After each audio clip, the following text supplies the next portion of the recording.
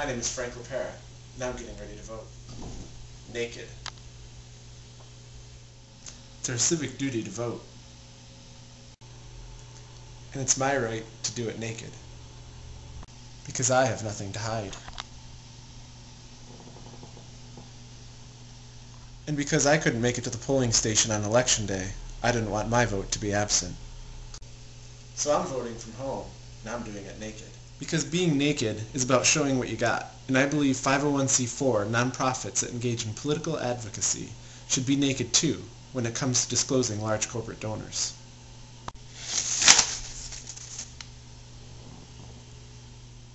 I'm Frank Lepera. I voted naked, and I think you should too.